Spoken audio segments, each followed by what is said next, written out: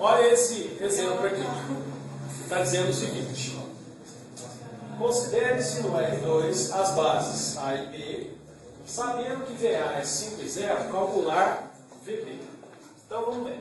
Então está aqui o exercício com as bases. Se VA é 5 e 0, pede para calcular VB. Gostaria que vocês prestassem muita atenção aqui. Esse exemplo ele é parecidíssimo com o anterior, só que ele vai ter uma mudança crucial, porque a base A é o que nós chamamos de base canônica. O que é uma base canônica?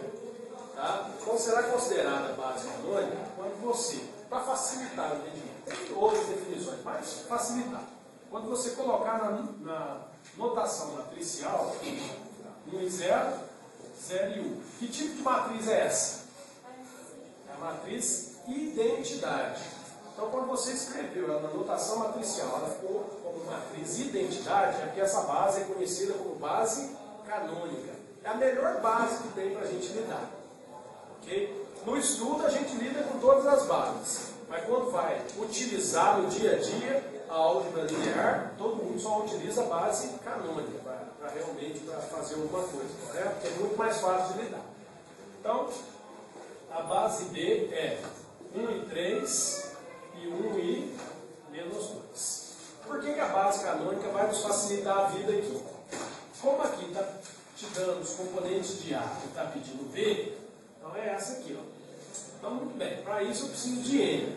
E N é a inversa de B vezes A. Mas vocês acabaram de dizer que é, nesse caso aqui A é a matriz identidade, correto? Então, no lugar de A aqui, eu posso escrever a identidade. E a identidade tem uma propriedade muito interessante. Ela vezes qualquer matriz, ou qualquer matriz vezes ela, dá a própria matriz. Então, a inversa de B vezes a identidade dá a inversa de B. Então, eu posso, nesse caso aqui, usar a forma desse jeito. Eu não preciso colocar vezes A. Então, quando a minha matriz A for identidade, para achar N, eu preciso simplesmente achar a inversa de quem? Vou precisar multiplicar por A. Porque, nesse caso, A é quem? Professor, e se não for? Mas se não for, tem que multiplicar. Né?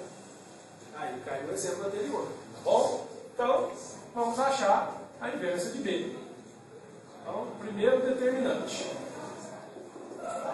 1 vezes menos 2, menos 2.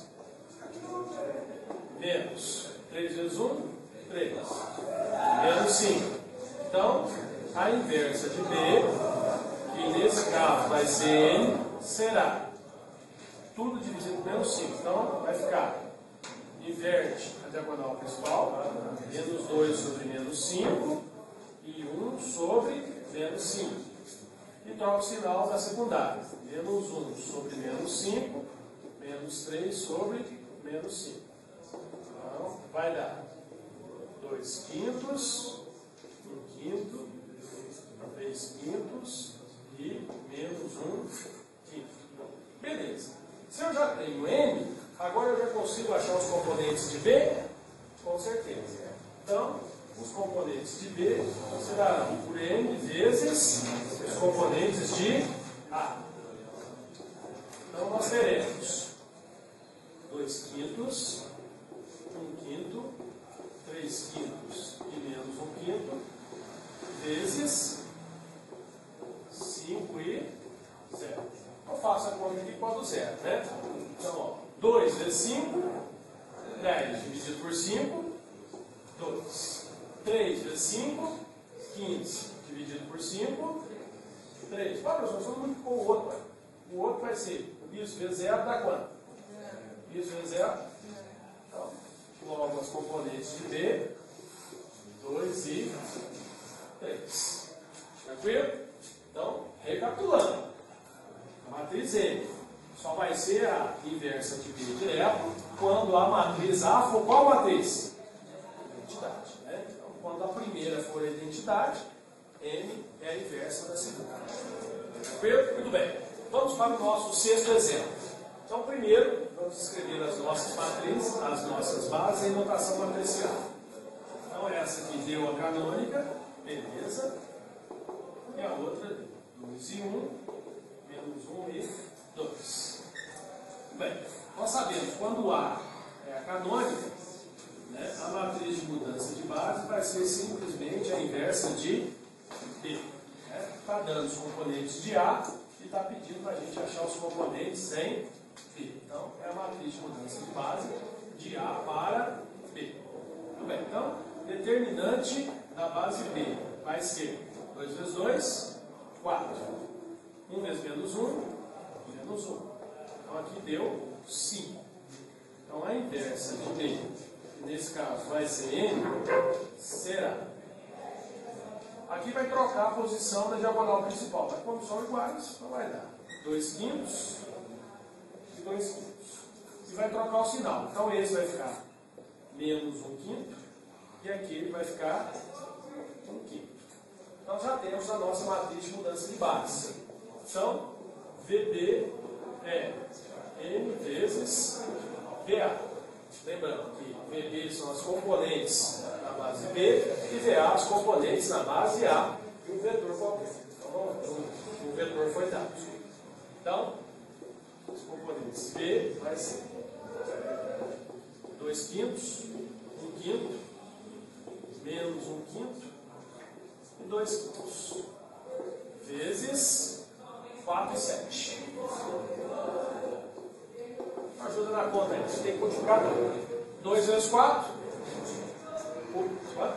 8. 1 vezes 7. 7. 8 mais 7. 15. Dividido por 5. Menos 1 vezes 4. Menos 4. 2 vezes 7. 14. 14 menos 4. 10. Sobre 5 componentes em B serão 3 e 2. Tranquilo? Tudo bem. O que eu vou fazer agora?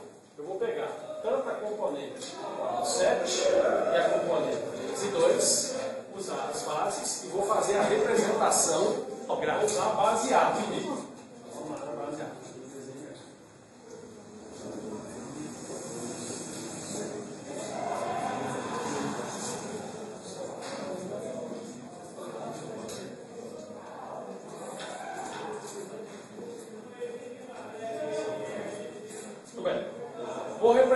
Primeiro a base, porque a partir da base a gente faz combinações lineares e aí com isso nós vamos encontrando os vetores.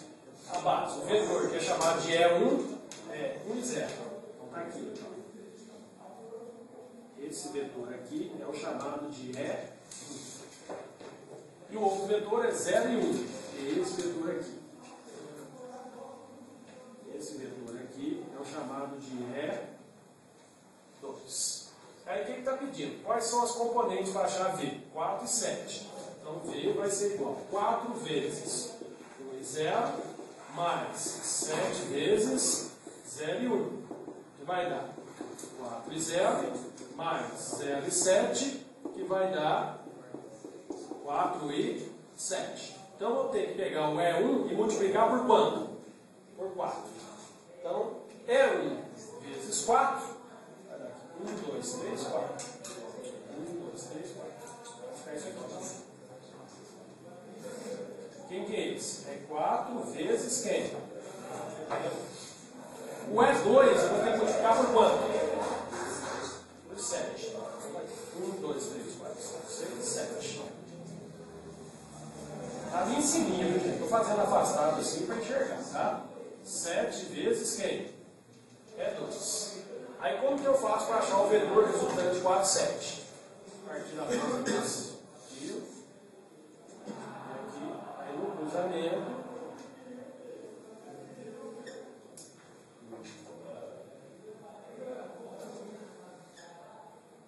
esse vetor aqui é o vetor V.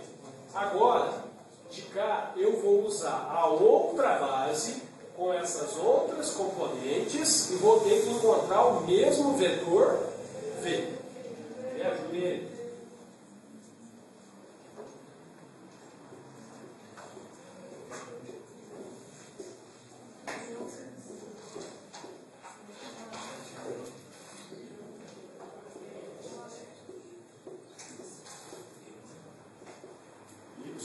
e x.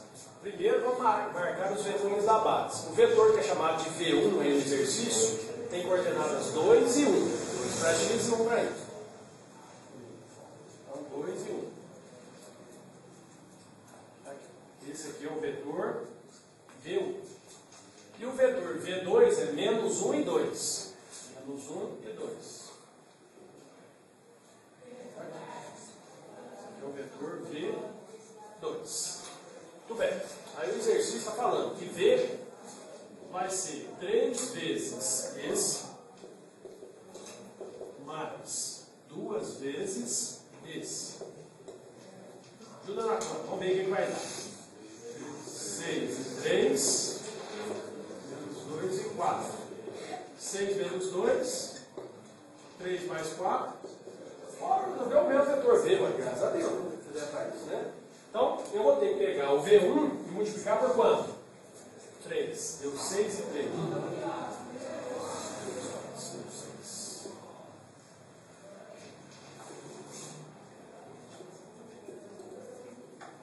Então, tá aqui. Aqui é 3 vezes quem?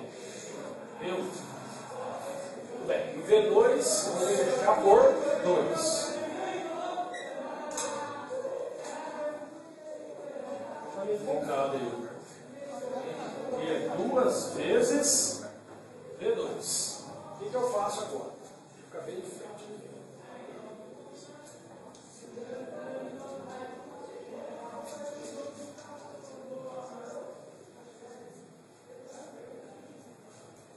Mais ou menos aqui, a mão. Ao fazer isso, eu acho o vetor, esse vetor aqui. Vamos ver. Está mais ou menos aqui. Aqui é 1, 2, 3, 4. 1, 2, 3, 4, 5, 6, 7. Esse é o vetor V. Então, encontramos o vetor V usando as duas bases. Pergunto a vocês, caríssimos alunos, qual das duas bases foi mais fácil achar o vetor V? Por isso que eu disse que a base canônica é, quando nós estamos estudando, estudando todas as bases. Mas quando vamos trabalhar, vamos usar, no caso vocês, dentro da informática, em qualquer programa que precise de usar álgebra linear, qual base que vocês vão usar? A base canônica. Porque a partir dessa, desses dois vetores aqui no R2, né, vocês vão criar todos os outros com facilidade. Porque se a base é canônica, aqui eu queria o 4 e 7. Quem que eu usei de componentes? 4 e 7. Se eu quisesse o vetor 2 e 5, quem que eu ia usar de componentes? Entendeu? Tudo bem.